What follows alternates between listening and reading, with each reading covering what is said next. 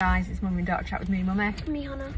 We are um, doing a mummy and daughter chat for Hannah's friend. It's her birthday. It wasn't her birthday today though. It's not a It's birthday. It's a birthday party today. Yeah, she's she's doing her birthday get together today. So, do you want to sing? Wait, I need to get give her a message. Helen? Holly, Holly. Bolly, with a big trolley. Indeed. She Why does she take that trolley everywhere with her? level Why? Why? level Helen? eight gat. What does that mean? You don't need to know. Level 8 GAT. What does that mean? Hannah, what does that mean? I'll I you later. Tell me what it means. Is it rude? No, Better it's not not be. rude. It's not rude. It's funny. Uh, level eight gat. With If you know what I mean. With a trolley in her body? No. Oh, okay. Anyway, I hope you have a great birthday party.